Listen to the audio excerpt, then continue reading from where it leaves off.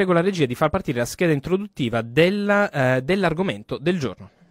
Il diabete mellito di tipo 1 quando la glicemia nel sangue o nelle urine è troppo elevata. L'intervallo di normalità per la glicemia a digiuno va dai 60 ai 99 mg a decilitro, mentre i livelli compresi tra 100 e 125 mg a decilitro sono considerati di intolleranza glucidica. I sintomi principali del diabete di tipo 1 sono l'aumento del volume delle urine, la diminuzione del peso corporeo in maniera improvvisa e un aumento della sensazione della sete. Chi soffre di diabete di tipo 1 deve sottoporsi alla terapia con l'insulina per tutta la vita. L'obiettivo dell'insulina somministrata con iniezione è quello di rendere simile questa azione a quella dell'insulina prodotta dall'organismo. Non esistono rimedi definitivi per il diabete mellito tipo, ma eh, di recente sono state sviluppate terapie innovative che rendono più facile al paziente la cura. Si tratta di rimedi più semplici da somministrare, molto utili se consideriamo che i pazienti affetti da diabete di tipo 1 sono spesso bambini e adolescenti. Per le iniezioni di insulina vengono spesso impiegate le siringhe usa e getta e a volte sono usate anche le apposite penne, molto pratiche perché contengono una dose di insulina in una cartuccia. Sono in vendita anche dei microinfusori, apparecchi con un motorino elettrico a batterie che permette di azionare una siringa che contiene insulina. E per parlare di diabete mellito di tipo 1 spazia la tecnologia abbiamo come ospite il professor Giuseppe De Rosa, specialista in medicina interna e docente di medicina interna all'Università di Pavia. Buongiorno professore, bentornato a colazione in farmacia. Buongiorno a lei e a tutti i suoi web ascoltatori. Buongiorno, dunque, ehm, ovviamente parliamo della eh, tecnologia applicata anche alla cura del diabete eh, mellito di tipo 1, ma come prima cosa ehm, le chiedo cosa comporta il diabete mellito eh, di tipo 1, eh, quali sono eh, le, eh, le complicanze che può portare questa patologia? Il diabete mellito di tipo 1 che fa chiaramente intravedere che esiste anche un tipo 2 eh, di cui abbiamo già parlato. Sì. Il tipo 1 è la, sempre una patologia che riguarda il metabolismo dei carboidrati e non solo, caratterizzato da iperglicemia ed è eh, appannaggio diciamo, come rischio tutti coloro che arrivano fino a circa 40 anni, dopodiché dopo i 40 anni diciamo, nel caso il paziente possa mm, andare incontro all'iperglicemia parleremo di diabete mellito di tipo 2 e comporta eh, essenzialmente l'assenza o la scarsissima produzione di insulina. Ecco, e, e, quali sono i soggetti che sono più coinvolti da questa, da questa patologia? Decisamente, eh, avendo specificato che diciamo, tutti coloro che diciamo, non, hanno, non sono ancora compimento di circa il quarantesimo anno sì. possono essere eh, a rischio, è chiaro che sono soprattutto i bambini. Non è detto che soltanto i bambini vadano incontro eventualmente a questa patologia, scopriamo anche persone che a 30 anni si ritrovano improvvisamente a essere diabetici di tipo 1 ed è ehm, l'eziopatogenesi diciamo è ancora eh, sconosciuta, si pensa che possa esserci un problema immunitario alla base, altri pensano che ci sia un particolare antigene eh, o un batterio, un virus, eh, però di fatto non latitiamo ancora per quanto riguarda l'ectopatogenesi. Di fatto è che la beta cellula, l'unità proposta a produzione di insulina, eh, quasi improvvisamente non produce più eh, insulina, anzi viene distrutta e alla sostituzione del tessuto nobile, quale quello della beta cellula, c'è il tessuto fibroso. Quindi alla base potrebbe esserci anche un processo infiammatorio, forse infettivo, che fa sì che l'organo deputato alla produzione di insulina, cioè la, il pancreas, quindi la beta cellula, non produca più insulina. L'assenza di insulina fa sì che il, uh, il, soggetto che viene colpito debba per forza di cosa uh, fare una iniezione di insulina, quindi abbia bisogno di un apporto esogeno esterno di insulina. Ecco, e i valori, i, i valori qua, di insulina per quanto riguarda ehm, eh, che comportano poi ovviamente la diagnosi del diabete di t- mellito di tipo 1, eh, quali sono? I valori di glicemia? Sì, sì, esatto, sì, scusi. I valori di, glice- i valori di glicemia eh, normalmente eh, nel tipo 1 rispetto al tipo 2, il tipo 1 è abbastanza drammatico eh, perché può mh, mm, eventualmente il soggetto andare incontro al cosiddetto coma chetocidosico per cui si ha un importante valore di glicemia, di iperglicemia, parliamo anche di 600, 700, 800 mg decilitro e, e quindi con la possibilità anche che il paziente sia in una, una fase o di eh, precoma, di, di, stupore, di stupore o anche addirittura incontro al coma. Ed è eh, soggetto magari giovane, la mamma si preoccupa, ci sono anche poi dei segni e sintomi che possono far sì che il, possa essere riconosciuto il paziente diabetico, per esempio una caratteristica è il bambino non cresce per esempio, cresce poco e eh, proprio perché c'è la mancanza di insulina, al tempo stesso il bambino eh, beve tanto, beve tanta acqua e fa tanta pipì. E, diciamo che rispetto a quello che mangia cresce anche poco e questo può essere già un segnale, un allarme per cui facendo una glicemia si ha un valore molto alto, fino addirittura purtroppo all'esordio proprio di questa glicemia particolarmente alta che può portare anche al coma eh, chetoacidosico. Ecco, e per quanto riguarda il diabete mellito di tipo 1, eh, qual è la terapia esattamente? Semplicemente le iniezioni nel la caso... Terapia sì? è chiaramente la terapia insulinica. Ecco. Si può prescindere dalla terapia insulina perché c'è la mancanza di insulina e con il ripristino della, uh, dell'apporto di insulina abbiamo che la glicemia, che l'iperglicemia uh, scende e si porta più o meno a valori um, di norma.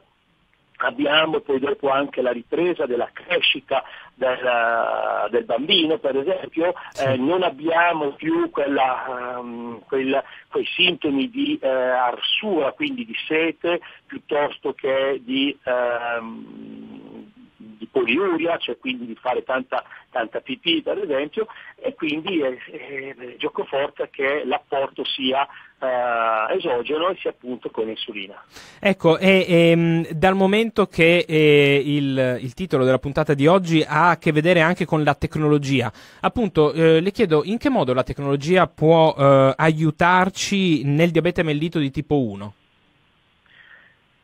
Um, ah, Diciamo che in prima battuta la tecnologia um, è già da qualche anno che ha preso um, piede nell'ambito della terapia, diciamo, sic simpliciter della terapia insulinica. Sì. Si accennava nella scheda introduttiva dell'uso delle penne. Un tempo c'erano le, le, siringhe, anzi a dire la verità un tempo c'erano boccettini di insulina dove l'infermiera doveva essere particolarmente abile nell'aspirare l'insulina in base anche al tipo di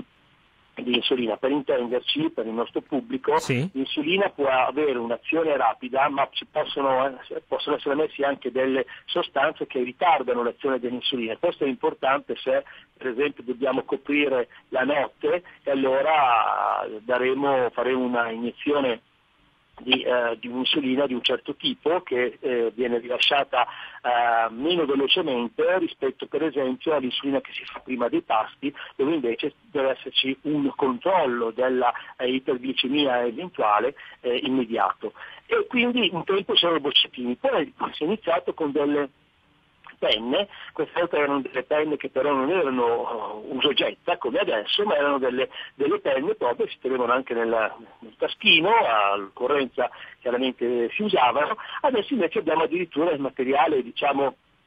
usa, usa, e getta, per cui alla fine diciamo, della, eh, del flacone che è all'interno della fiala, che è all'interno della penna, si può buttare sia la penna che il, che il, che il flacconcino. Eh, questa è chiaramente una terapia sotto, sottocutanea. Sì. È chiaro che adesso nell'ambito della terapia insulinica c'è anche la possibilità, ed è particolarmente apprezzata nei giovani che sono molto più tecnologici di quello che possono essere altre persone, sì. il microinfusore. Che cos'è il microinfusore? Il microinfusore è un apparecchio che ha le dimensioni di circa un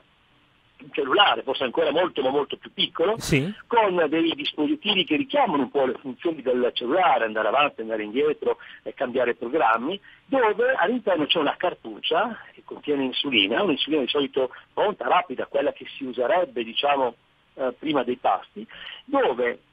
a questo microinfusore è attaccato un cateterino, si fa un'applicazione anche qui eh, diciamo, sottocutanea e rimane questo cateterino con un mm, microinfusore che si può portare alla cintola, in tasca, le donne, le ragazze possono portarlo anche, non so, voglio dire, dietro i jeans piuttosto che anche il ragazzo nei jeans, insomma comunque è, è, molto, mm, è molto pratico, molto portabile, molto portabile sì. e al tempo stesso eh, diciamo, si può programmare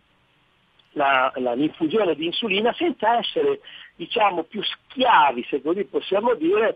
con, eh, assoggettati a quelle 3, 4, anche 5 iniezioni sottocutanee, perché il, soltanto il cateterino viene cambiato ogni due giorni, quindi di fatto a fronte di 4-5 buchi diciamo, al giorno, quindi potrebbero essere 10 in due giorni, qui andiamo soltanto due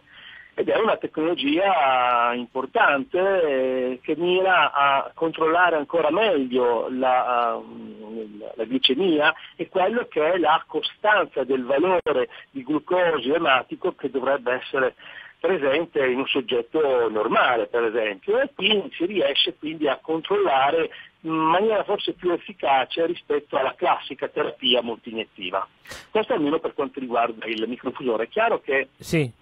eh, microfusore prevede anche dei controlli più eh, ravvicinati dalla glicemia ed ecco che allora anche il normale reflettometro o glucometro, cioè quella, l'apparecchio che viene usato per controllare la glicemia capillare, ha subito adesso alcune modifiche per cui si arriva addirittura ad avere la possibilità di poter in primo luogo eh, sempre con un sensore che viene messo sottocutaneo mm. e che può essere tenuto addirittura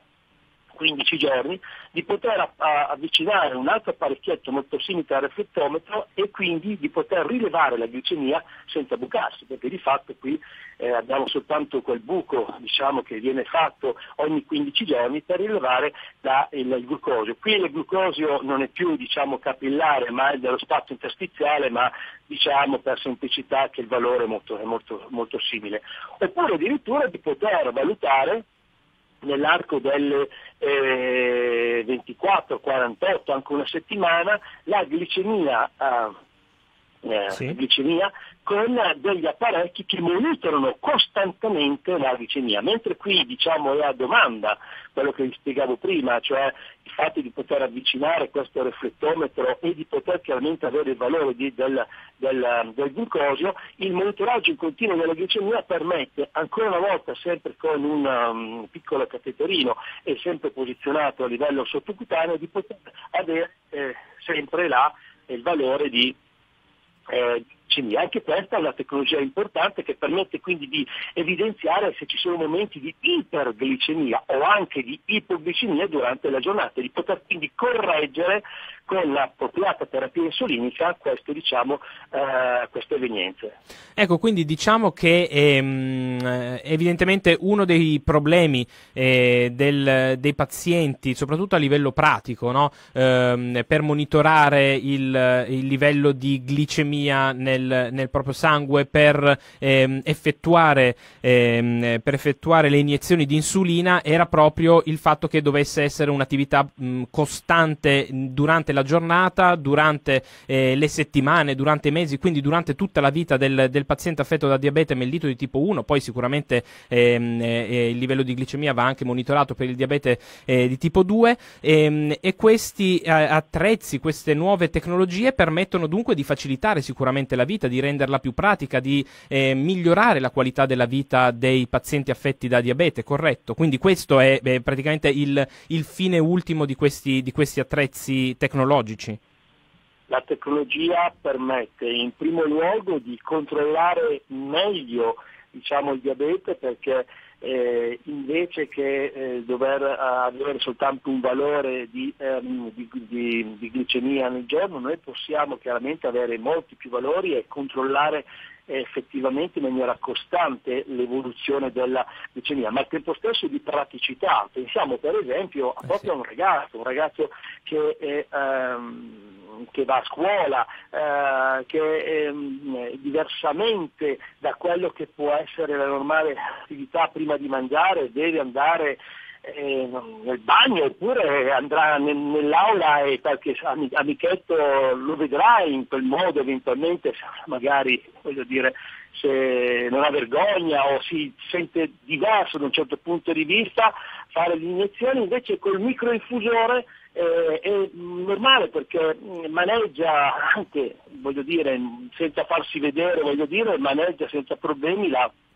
il, il, la macchinetta, il microinfusore può iniettarsi, quindi può programmare le iniezioni di insulina eh, che deve fare. Quindi di fatto c'è la praticità, sì. ma al tempo stesso la possibilità di poter controllare meglio la, eh, la, i valori di, eh, di, glucosio nel sangue perché attenzione, questo viene fatto per quale motivo? Se io controllo meglio i valori di glucosio nel sangue io evito o ritardo di molto le complicanze temibili del diabete, mi accennava prima quali potevano essere le complicanze, sì. le complicanze sono la retinopatia diabetica, quindi problemi oculari, la nefropatia diabetica, problemi renali, addominali,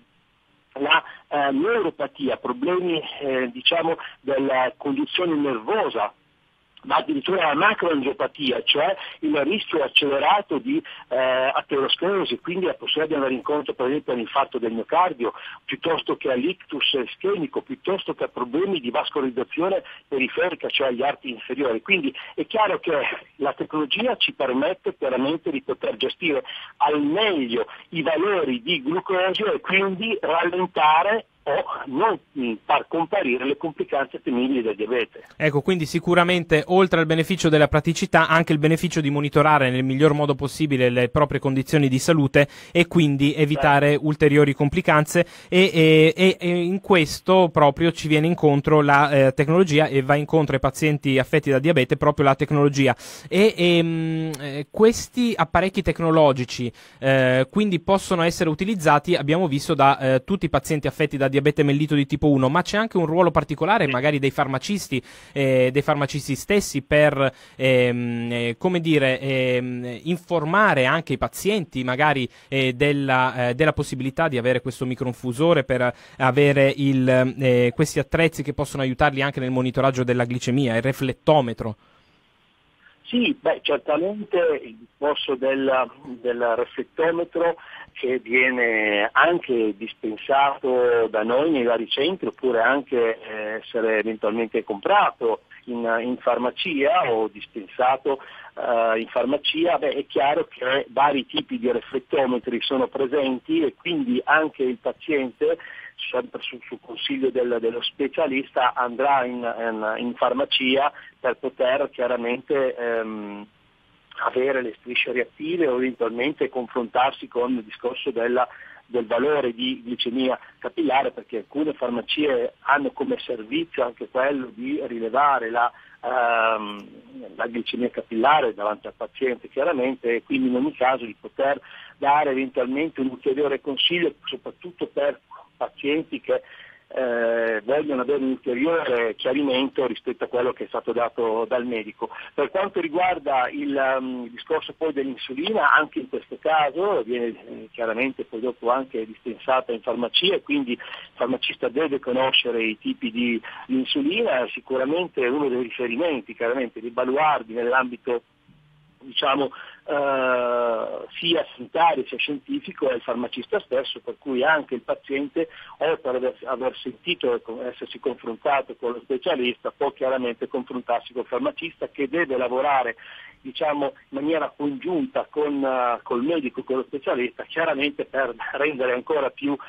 eh, fruibile l'informazione a parte del paziente. Per quanto riguarda invece certe tecnologie, per il momento sono appannaggio di centri specialistici, lei pensi che non sì. tutti i centri possono eh, prescrivere questi o comunque in caso possono avere degli ambulatori dedicati alla tecnologia, se così possiamo dire, del paziente diabetico. Però sicuramente l'informazione è importante anche perché sicuramente potrebbe essere che un paziente possa recarsi da farmacista e magari avere il microinfusore o ad avere i monitoraggi in continuo della glicemia. Ma infatti, eh, oltre a fare divulgazione sui temi di salute e benessere, il nostro eh, obiettivo è anche quello di dare consigli utili chiaramente ai nostri ascoltatori, magari qualche ascoltatore affetto da diabete eh, mellito di tipo 1 che eh, ci sta ascoltando ascoltando e ehm, eh, pensiamo magari eh, abbia eh, sia venuto a conoscenza oggi per la prima volta di questi eh, del microinfusore, del eh, riflettometro che certamente possono aiutarlo a ehm, eh, vivere quella che è la sua patologia chiaramente in maniera più pratica e anche in maniera sicuramente migliore per la propria salute, monitorare i livelli di glicemia nel sangue è molto importante, come ha detto anche per prevenire future complicanze e chiaramente se eh, possiamo avere degli aiuti da parte della tecnologia perché non averli. Quindi eh, io chiaramente la ringrazio per averci eh, spiegato quello che è, ehm, eh, quelli che sono anche ehm, eh, magari qualche anno fa potevano essere pensate come nuove frontiere della tecnologia, oggi fortunatamente certo. hanno un risvolto pratico sulla vita dei pazienti affetti in questo caso dal diabete mellito di tipo 1. Eh, professor De Rosa, la ringrazio molto per essere stato nostro ospite oggi a colazione in farmacia e, e a risentirci presto e buona giornata. Grazie altrettanto a lei e ai suoi web ascoltatori.